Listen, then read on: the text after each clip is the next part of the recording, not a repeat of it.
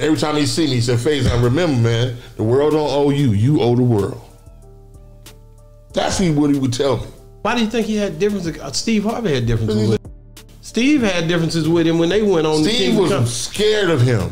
Comedian Faizon Love recently did an interview detailing for the first time how he and the late actor Bernie Mac started on a wrong footing, but eventually ended up becoming buddy. Faizon also explained why Steve Harvey ended up hating Mac, and the reason is pretty obvious. Well, according to Faizon, when the Kings of Comedy tour started, Harvey, who deemed himself the hottest comedian at the time, wanted to be the one closing on the shows. But after a few stops, Bernie Mac had gained so much fan base that the show's creators were left with no choice but to disrupt the lineup and allow Bernie to close the shows. Guy Torry was hosting it. Yeah. Um, Cedric, DL, Bernie, and and Steve was supposed to close it. As you would expect, this didn't go down well with Harvey, and that's how their beef began. They dropped Guy, and Steve was the host. And guess who closed that? Bernie. Mm. Harvey is just about everywhere these days. Via his weekday nationally syndicated morning radio show, his wildly popular best selling book, Act Like a Lady, Think Like a Man, and his gig as the new host of Family Feud, the stand up comedian is definitely one of the hardest working folks in show business. But reportedly, his personality is pretty much rotten to the core. Harvey's success, though, isn't exempt from backlash. The blogosphere is full of comments by many who refer to him as arrogant and full of himself. To others, though, he's just a talented, charismatic comedian who is expanding his brand. While Harvey is clearly enjoying his success, one thing has always nagged both fans and non fans alike his relationship with the late Bernie Mac. Harvey and Bernie Mac made up one half of 2000's The Original Kings of Comedy, a highly successful stand up comedy tour and film, with comedians D.L. Hughley and Cedric the Entertainer rounding out the foursome. While the tour made history and helped all four comedians' careers rise to even newer heights, the relationship between Mac and Harvey seemingly took center stage, dogged by persistent rumors that the two men weren't actually on friendly terms. While those rumors died down, they resurfaced again when Mac passed away in 2008. On Conversations with Ed Gordon, which premiered on BET some years back, Gordon interviewed Harvey and addressed the alleged feud between the two, with Harvey finally publicly addressing it from his standpoint. According to the interview, the feud stemmed from a 2003 GQ interview with Mac, in which he suggests Harvey was not only envious of his success, but also tried to steal gigs from him. Harvey acknowledged his feelings about the GQ article and admitted his anger about it. I was upset at first because it just wasn't true, said Harvey. Me and Bernie had a lot of good times together, and then this article in GQ came out and put all this vicious stuff in there. Harvey also acknowledged that he spoke with Mac about the interview. B said he never said it. I had to take him at his word for it. After Mac's passing, Harvey revealed that his widow, Rhonda McCullough, helped him get beyond the feud. Rhonda, of all people, knows the truth. It was a cleansing moment for me because I was able to let go of a lot of stuff. Who knows what was actually behind the beef? However, Harvey's admission of having a cleansing moment might imply that something was there indeed. Whatever it was, we'll probably never know. Just recently, one of the members of the original Kings of Comedy, Cedric the Entertainer, appeared to confirm Harvey had issues with Mac. Cedric, who was a part of the tour along with D.L. Hughley, Steve Harvey, and Bernie Mac, confirmed that the two comedians did not see eye to eye. Yeah, yeah. I mean, you know, they were the kind of guys that they are both alpha males, you know, like they both they just saw it differently, you know what I'm saying? But at the end of the day, they were able to get through it, he said, while on Shannon Sharpe's podcast club, Shay Shay. Is it true that Steven and, and Bernie butted heads? Yeah, yeah. I mean, you know, they were the kind of guys that they both alpha males, you know, like they they both, you know, they just saw it different, you know right. what I'm saying? But at the end of the day, they- Cedric added that because of the feud, it had prevented them from doing another tour.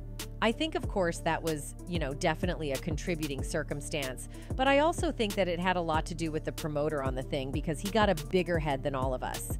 The dude that put us all together started to really think was about him. So it started to be that. So it was a lot of those kinds of elements.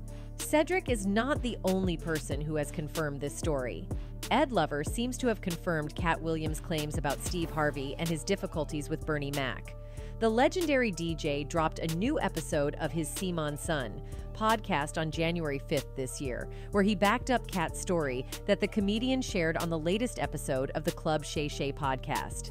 He goes on to say that he was supposed to be one of the kings of comedy, that they approached him after Bernie passed, he said in the episode, but he didn't want to go on the Kings of Comedy tour because of Steve Harvey's treatment of Bernie Mac. He has a lot of respect for Bernie Mac. After explaining that he'd been a friend of Bernie Mac's until the day he died, Ed Lover continued The stuff that Katt Williams said about Steve Harvey calling to try to get Bernie's role on Ocean's Eleven and that kind of stuff, Bernie told me out of his own mouth. I believe Bernie Mac when he said Steve Harvey hated on him, he concluded. Katt certainly shook the table with his appearance on Club Shay Shay earlier this year, but he saved most of his vitriol for Steve Harvey. The same Steve that went to go watch Mark Curry do his whole sitcom and then stole everything Mark Curry had, he said in the interview. Now, Steve got a sitcom where he is the principal and he wears a suit. And then he gets this high top fade, making all black men think he got the best lineup in the business. And it's a man unit. He continued. Then you ask him, why you not a movie star?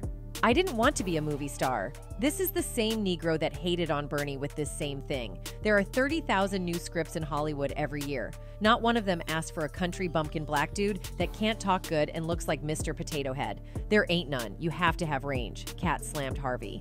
And in the same breath, it also appears Katt has enjoyed his fair share of industry beef with Faizon. In a reposted Vlad TV segment from 2019, Faizon recalls how Katt once pulled a gun on him.